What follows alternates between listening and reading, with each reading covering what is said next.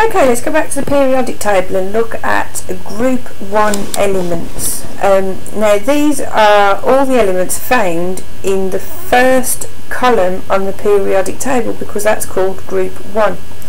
Um, now they're all there because they have similar properties uh, and that's why Mendeleev, the person who put the periodic table together, uh, put them all in one column.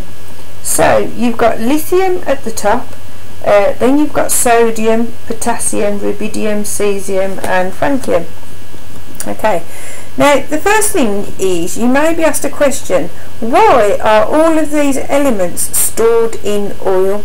Um, and the reason is because they are so reactive that uh, they need to be kept away from air and water um, because then they will react. Now I'm sure you've seen this demonstration or for some of it anyway, um, in your classrooms with the big glass trough um, where the different metals are dropped into water. Okay, now we only do it with water because of how reactive they are. And also in school we only do lithium, sodium and potassium. And when we get to potassium uh, we can't go any further because potassium's the most aggressive that we can show you.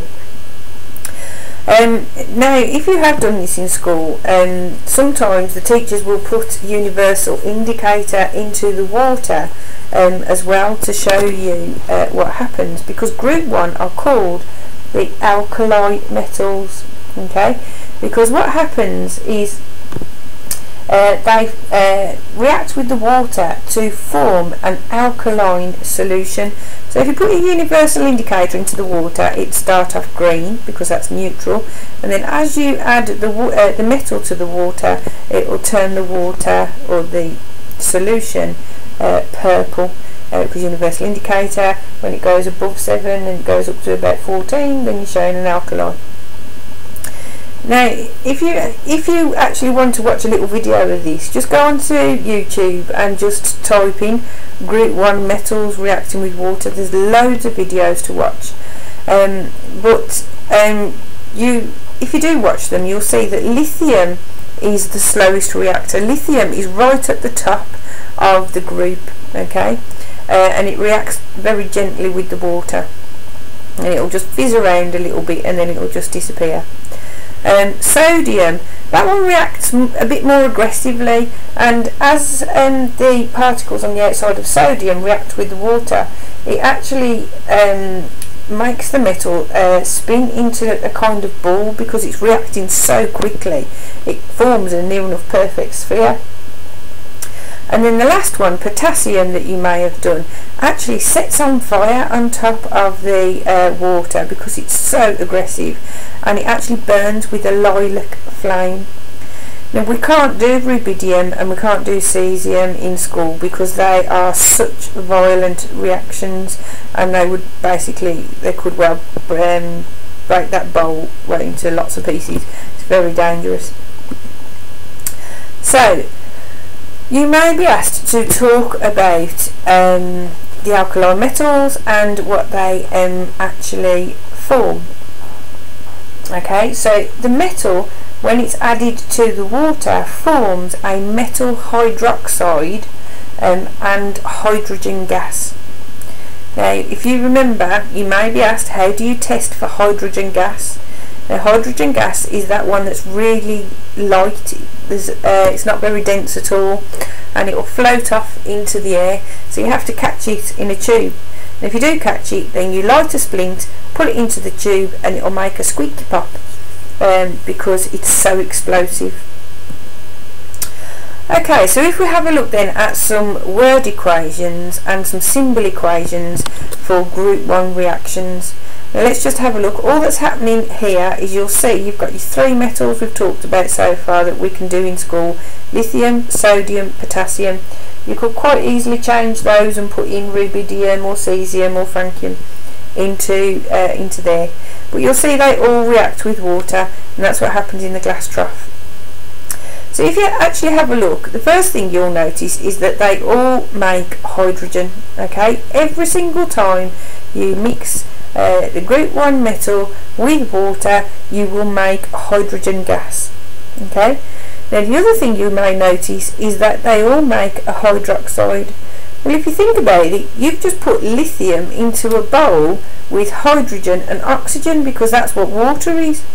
Well that's got to come out somewhere and that's why your hydrogen separates off uh, on its own and then you end up with lithium hydroxide because that is where the oxygens and hydrogens have joined onto the lithium.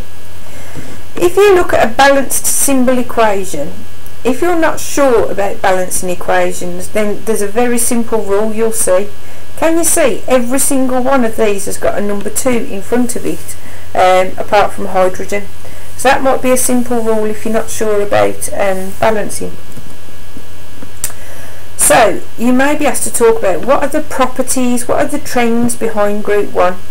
Now the first thing to remember is, as you go down group 1, the melting points and the boiling points decrease. So the further down the group you go, the more reactive the uh, chemicals are. So at the top, lithium is the least reactive, then sodium, then potassium.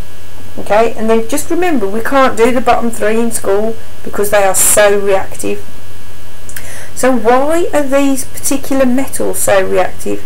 Well, it's because they've got this one electron in its outer shell and they hate that. They hate it because they just want to be nice and stable and have eight electrons.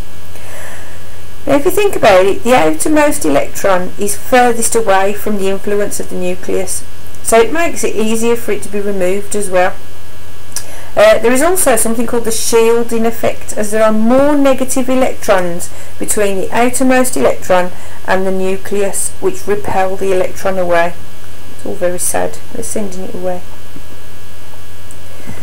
Okay, the last part of this, actually there's something else I just want to mention, um, is if you were asked to talk about the formation of an ion. Now if you remember I said earlier, an ion is formed through um, electrons either being added or taken away. Well in this case you can see with lithium uh, we're taking away an electron and that means it's Li positive. And all that means is there are more positive protons than there are electrons uh, which usually usually stabilise it. Um, sodium, take away an electron, it becomes Na plus because it's more positive. Uh, potassium, take away an electron, becomes K+. plus. Now the other thing to remember is if you were looking at flame tests, you may be asked um, to ask how you would carry out a flame test because that is for group 1 elements. First of all, um, you would um, get some acid and a wire loop and you would dip the wire loop into the acid to clean it off of any chemicals. Then you would dip your wire loop into um, one of the three chemicals that you would do, either lithium, sodium or potassium. So let's start off with lithium. So you've dipped your loop in acid, you dip it into uh, the lithium and then you put it into the blue flame on the Bunsen burner. And you will notice that lithium burns red. Okay, lithium is red. Um, sodium, I always think about sodium street lights because most, not so much now because we're having LED lights, but street lights used to be an orange colour. So I always think sodium street lights because sodium produces an orange flame. And I always think about potassium purple. So potassium, uh, PP, potassium when you uh, burn that, it produces a purple flame. Okay, so make sure you know that procedure uh, because that may be something you're asked about as well.